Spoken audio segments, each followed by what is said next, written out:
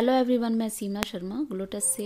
आज मैं दिखाने वाली हूँ कि मैंने बड़ी छठ में क्या क्या। किया रात से, रात को तो मैंने रसिया और रोटी खा ली थी और इसके बाद से यहाँ पर मैं प्रसाद बनाने की तैयारी कर रही हूँ।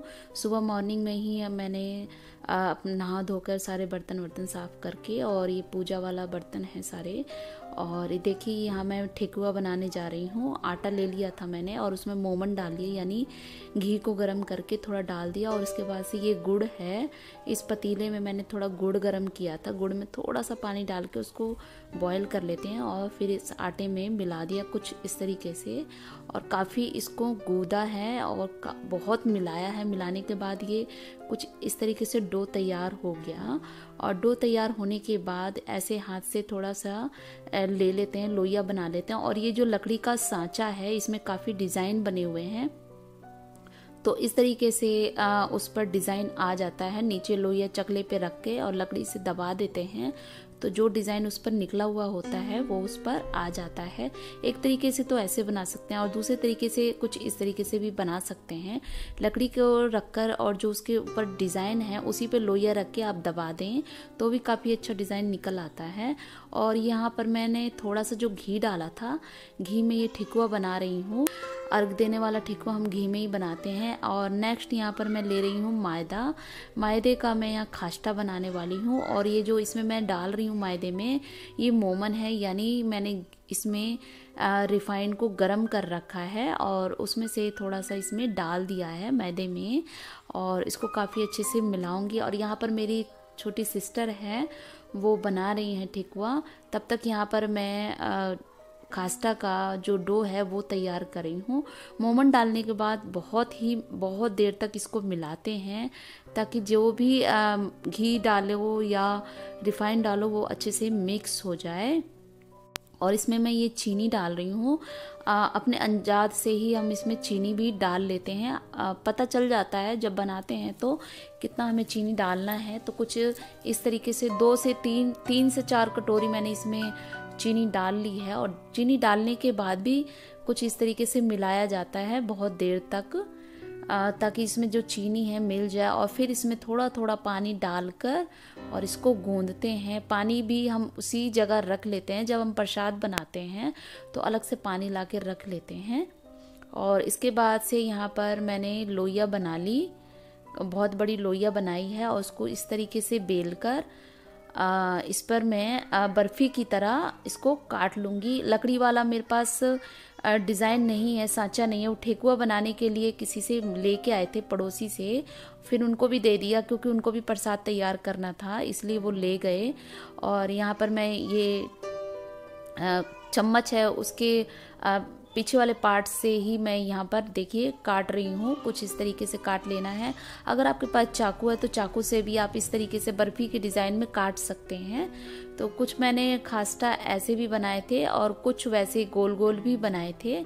तो ये देखिए, यहाँ पर रिफाइंड गर्म हो गया है, घी गर्म हो चुका है और उसी में हम ये डाल देते हैं। बहुत ही अच्छे लगते हैं। खास्टा मीन्स खसखस बनता है ये और बिस्किट की तरह लगता है।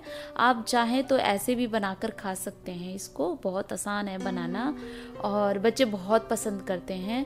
तो इसलिए ये तो चलो छठ में तो बनता ही है। आप नॉर्मल भी इसको बना सकते हैं। ये कुछ लाल हो जाए हल्का हल्का तो इसको ऐसे छान लेना है। यहाँ मेरी सिस्टर है, यहाँ मैं हट चुकी हूँ, मेरी सिस्टर बना रही हैं, क्योंकि सुबह से बैठे बैठे पैरों में दर्द हो गया था, घुटनों में दर्द होने लग गया था, क्योंकि खाया पिया तो कुछ नहीं है, ना हम पानी पीते हैं तो इसलिए थोड़ा सा थकान हो ही जाती है। और यहाँ पर मैं सुपली तैयार कर रही हूँ, अर्घ देने वाली जो सुपली होती है, उसे मैं अब तैयार कर रही हूँ, तैयार कर चुकी हूँ, और सठिया बनाकर यहाँ पर आटे में घोल कर हल्दी वल्दी घोल कर सठिया, उसका वो पेस्ट तैयार कर लेते हैं और तैयार करने के बाद ये सठिया बना दिया है। देखिए, मैं, मैंने नारियल पर भी कुछ इसी तरीके से सठिया बनाया है और ठेकुआ है और वो दोनों में डाल दिए, दोनों सुपली में और यहाँ पर जो बाउल में है वो अच्छत मैंने तैयार किया है। उसमें चना है, भिगोया हुआ चना है, चूड़ा है और एक साठी के चावल होते हैं। वो भी उसमें मिक्स कर दिया है। और यहाँ पर देखिए, यहाँ पर मैंने पूरा तैयारी कर ली है शाम की। जाने वाली यहाँ टोकरी है, उसको भी सजा दिया है। अब ये मेरी पूरी तैयारी हो चुकी है शाम के लिए। अपने रूम में आके मैंने मेकअप भी कर लिया। मैं कुछ इस तरीके से लग रही थी। आपको कैसी लग रही हूँ, ज़रूर कमेंट करना। और अब हम जा रहे हैं शाम को तीन साढ़े तीन बजे से हम लोग घर से निकल गए थे तो? साथ में ये मेरी पड़ोसन है। इन्हीं के साथ मैं कर रही हूँ यहाँ पर। फ़र्स्ट टाइम मैं गुड़गांव घाट में जा रही हूँ। आप देख सकते हैं ये गुड़गांव का जो घाट है बहुत ही बड़ा है और यहाँ पर बहुत ही भीड़ थी। इतनी भीड़ होती है कि जल्दी जगह नहीं मिलती है और जो पानी में खड़े होते हैं आप देख रहे होंगे कुछ लेडीज़ पानी में भी खड़ी हैं तो वो दड़भंगा साइड के जो होते हैं लोग, वो लोग इसमें डुबकी भी लगा पाँच पाँच डुबकी लगाकर जब से जाते हैं घाट पर, तब से उसमें जाके डुबकी लगाकर और उसी में खड़े रहते हैं। जब तक सूरज भगवान डूबते नहीं हैं, तब तक वो लोग उसी में खड़े होते हैं। बट हमारे यहाँ ऐसा नहीं होता है। हमारे यहाँ घाट पर पूजा करने के बाद देखिए यहाँ पर मैं पूजा कर रही हूँ। आपको मेरी ऑरेंज कलर की साड़ी दिख रही होगी। देखिए यहाँ पर ये अब दिख रहा होगा। यहाँ पर मैं यहाँ पर दिए जला रही हूँ और वहाँ पर मैंने पूजा की है घाट की और यहाँ पर मैं दिए जला रही हूँ और जो मैंने गन्ने, जो हमारा गन्ना भी गया था, ये हमारा ही गन्ना है। दो, मिट्टी में गाड़ देते हैं, नदी में गाड़ देते हैं और ये देखिए मैं तेल मांग रही थी कुछ कुछ सामान मांग रही हूँ ऊपर से, क्योंकि मेरी डलिया जो है वो ऊपर रखी हुई है और मैं नीचे घाट में आई हूँ। दिए वगैरह जलाने के लिए, पूजा करने के लिए। आप देख सकते हैं, भीड़ बढ़ती ही जा रही है और जितनी ही शाम होती जाएगी, उतनी ही भीड़ बढ़ती जाएगी। कम से कम यहाँ आठ से नौ हज़ार तक लोग होंगे। इतना क्राउड था, इतनी भीड़ थी। आप यकीन नहीं मानोगे, घाट पर तो वहाँ पर जहाँ मैं खड़ी हूँ, वहाँ पर बहुत ही कीचड़ है। वहाँ पर बैठने की भी जगह नहीं थी। वो तो कैसे मुश्किल से मैंने वहाँ दिए जलाए हैं।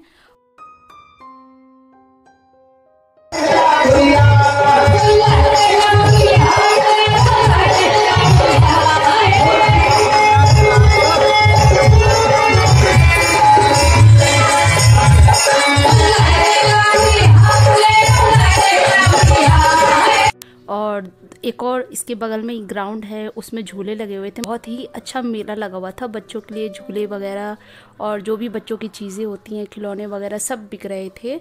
तो ये यकीन मानिए, यहाँ पर एक भारी मेला लगा हुआ था छठ पूजा में। सब चीज़ की यहाँ पर व्यवस्था थी। पर मैं अर्घ देने की तैयारी कर रही हूँ। मेरे साथ ये गई थी लेडीज़, इनसे मैं अपनी मांग भरवा रही हूँ।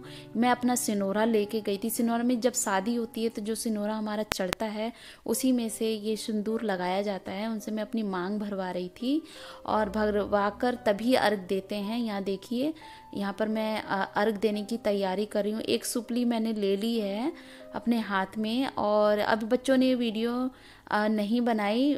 नहीं तो ये फ़ोटो हैं।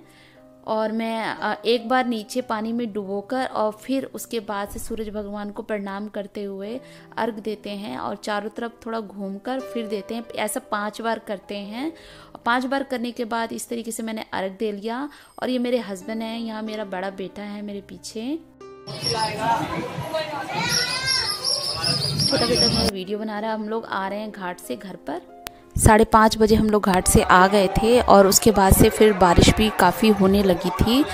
तो यहाँ पर पिछले साल भी छठ में बारिश हुई थी जब हम लोग गाँव में थे तो सुनने में आया था, बट इस बार भी यहाँ पर शाम को बारिश हुई है। ये संडे की सुबह है और सुबह हम चार बजे घाट पर आ गए थे। सुबह चार बजे इतनी भीड़ है, आप देख सकते हैं। बहुत भीड़ है मतलब शाम को आठ से नौ हज़ार तक लोग थे। बट सुबह आप कह सकते हैं दस से ग्यारह, यानी बारह हज़ार तक भी लोग हो सकते हैं। बहुत भीड़ थी। जहाँ पर प्रोग्राम हो रहा था, वहाँ पर भी सीटें भरी हुई थी और उससे ज़्यादा लोग थे। और यहाँ पर देखिए, अभी सुबह नहीं हुई है। और यहाँ पर मैं देखिए, जा रही हूँ, दिए जला रही हूँ। वो ऑरेंज कलर की साड़ी में मैं ही हूँ दिए जला रही हूँ। और टोकरी मेरी ऊपरी रख, ऊपर रखी हुई है। और दिए जलाने के बाद से यहाँ पर देखिए, चारों तरफ़ पूरे घाट पर दिए जल रहे हैं। काफ़ी अच्छा लग रहा है, बहुत सुंदर लग रहा था उस समय ये घाट। पूरा जगमग जगमग कर रहा था और अभी अंधेरा ही है। चार बजे तो आप जानते ही हैं कितना अंधेरा होता है। साढ़े चार हो चुके हैं और यहाँ पर मैं और मेरे साथ में जो पड़ोसी हैं, पड़ोसन हैं, वो भी दिए जला रही हैं और कुछ औरतें पानी में जाकर खड़ी हो गई हैं इसी समय से। और फिर मैं दिए जलाकर आके अपने टोकरी के पास, हाथ में, आंचल में नारियल, पान का पत्ता, कसैली और ये ओरन लेकर के बैठ गए हैं। और ये मेरी सिस्टर है, ये ग्रीन साड़ी में। और वो फ़ोटो खींच रही थी। अब ये अर्घ देने का टाइम हो गया है और ये मेरी मांग भर रही है। मांग हम नाक से लेके मांग तक पूरी सिंदूर करते हैं और यहाँ पर बारिश स्टार्ट हो गई है। आप देख सकते हैं, काफ़ी बारिश होने लगी। बारिश में ही मैंने अर्घ दिया है और यहाँ पर मैं घूम रही हूँ। यहाँ मेरे हस्बैंड ने, ये वाइट शर्ट वाले मेरे हस्बैंड हैं, वो अर्घ दिला रहे हैं। और मेरी बड़े बेटे, मेरे हस्बैंड और मेरे छोटे बेटे इन्होंने मेरे को अर्घ दिलवाया था, दूध से अर्घ देते हैं, सुपली लेके पाँच बार घूमते हैं, सूरज भगवान को नमस्कार करते हैं तो इस तरीके से मैंने अर्घ दिया सुबह और बारिश हो ही रही है। बारिश होने के कारण घाट पर भगदड़ मच गई थी और लोग जल्दी जल्दी करने लगे। और यहाँ पर देखिए, मैं अभी अर्घ दे ही रही हूँ, तब तक बारिश हो ही रही है और ठंड भी लगनी स्टार्ट हो गई थी। तो काफ़ी अच्छा मेला रहा और हमारी छठ पूजा काफ़ी अच्छी रही। चलो मिलते हैं नेक्स्ट वीडियो में, तब तक